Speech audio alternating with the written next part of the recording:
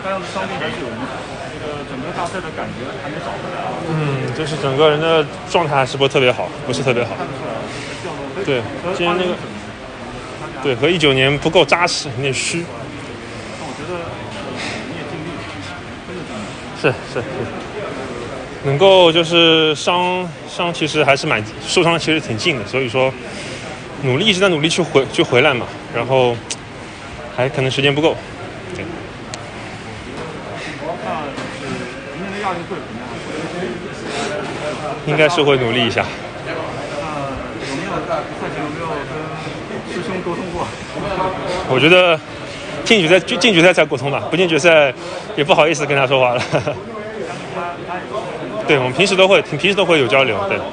但比赛，嗯，那边剑其实我知道那个五月份有啊击剑，然后对到现在是这个在比赛当中这个调动不起来啊。可能还是练的不够不够充分吧，因为这个伤，它就是不能让你充分的去训练，就是，呃，大概我只到了前两周才开始能够正常的去跨十个栏这样子，之前的话是跑一次就得休息，跑两三次就不能练了，就这样子。所以说一等他那个急性期过了之后，我然后才能够慢慢的再开始正常训练，是这样。奥运会是不是最后一次？我觉得怎么说呢？哎，这个，嗯、再说吧，再说吧，因为其实自己还是还是有梦想的，听你这么说，我们都很高兴。是好好养，把那个养好，然后明年呢，待会我们中国短跑还要靠你来支撑啊，对吧？是，回去再好好练一下，然后再拼一下。这三届奥运会下来，自己觉得最大的收获，收获怎么说呢？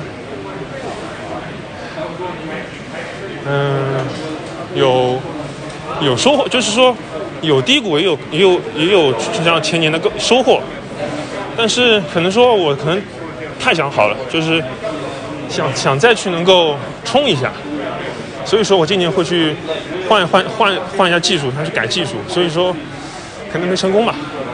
其实这届奥运会咱们您的很多老将都实现自己的梦想，是念这个老将，那你就还有没有信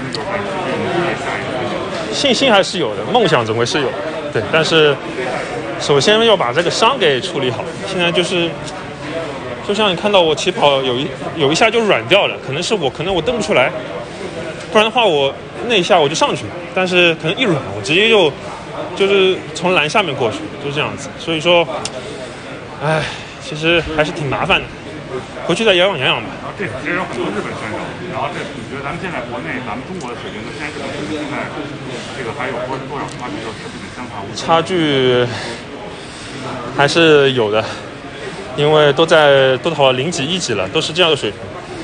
呃，现在年轻的选手还在努力一下，我觉得。对，加油！